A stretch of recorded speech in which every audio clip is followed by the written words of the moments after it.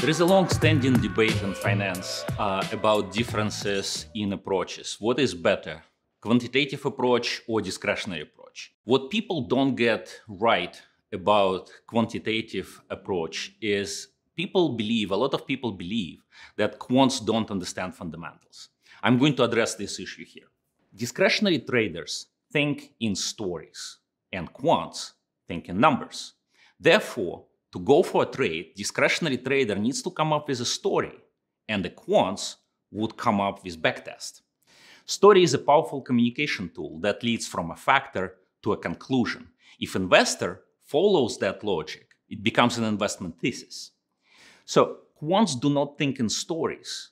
And that's why people argue they don't understand fundamentals. But I'm here to argue that quants understand fundamentals in much deeper way.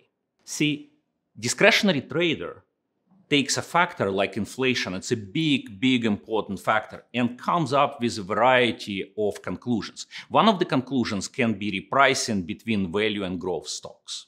Quants, however, they don't like to think about factors as a once in lifetime events. They like repeatable stuff on which they can build models. So they look at inflation, but they look at inflation slightly differently.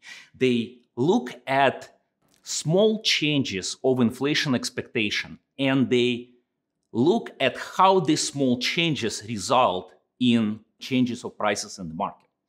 Therefore, they build much granular, much deeper and, and more consistent understanding of, of, of that picture. You can look at this at the same structure and come up to the same conclusion about changes of prices of growth and value stocks, but in much more continuous way. So one can say that discretionary trader come to a betting table and bets all in once in a blue moon.